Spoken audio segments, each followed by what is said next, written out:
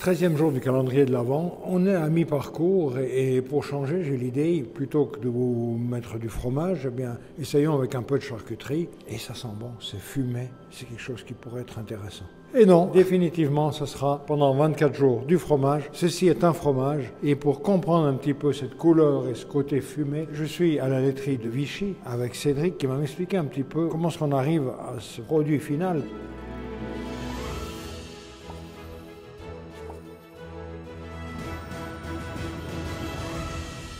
Parce que le final, c'est bien celui-ci. Donc voilà, qu'est-ce qu'on a là Donc on a un fumaison de brebis, donc c'est un fromage de brebis au lait pasteurisé sur un affinage de 3-4 mois. Donc à la fabrication, il est mis en filet comme un saucisson fumé. Le filet, c'est simplement pour le côté euh, amusant de dire on a, Voilà, on a de la l'esthétique. Après, on le descend à Vichy, il est mis dans des caves d'affinage, une semaine dans une cave chaude à 13 ou 14 degrés. Au bout d'une semaine, il commence à avoir un petit peu de poil de chat, il commence à s'assombrir. Donc le fait qu'il s'assombrisse, c'est simplement que, Il s'assèche. que quand ça se chant, il devient un peu plus Voilà, sombre. tout à fait. Et, et ce parfum de Fumée. de, de fumée, c'est au départ que je l'ai plus, un petit peu moins ici, et plus subtil là. Et plus subtil à la fin. Et pourquoi? Parce que l'affinage prend le dessus et par contre il se diffuse à l'intérieur du produit. Du produit. Ça, c'est la première étape. On commence à avoir du poil de chat, et ici, Le fait d'avoir un affinage de 3-4 mois, donc on a quelques petites taches jaunes, euh, voilà, et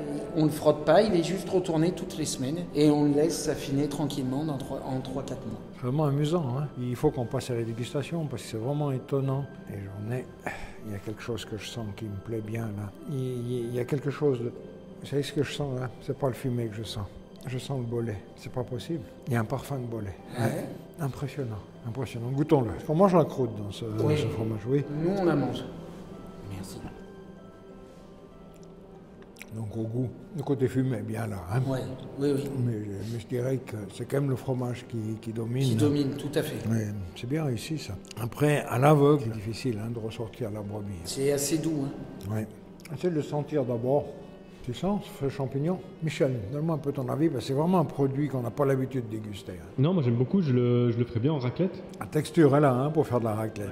Oui, oui, tout à fait. C'est vraiment des, des tests à faire. hein. Ça peut être en raclette, il y a le fumé qui va ressortir, mais je maintiens que ça va au-delà de ça et c'est- c'est plaisant, hein, ce, ce parfum qui, qui ressort. Puis, puis de voir un peu l'évolution. Un produit en cave, hein, comment ça peut évoluer, arriver comme ça. A- qu'il y a d'autres champignons. Bon, là, il y a le poil de chat hein, qui, est- dominant. A, là, il y a un champignon jaune, un champignon un peu gris.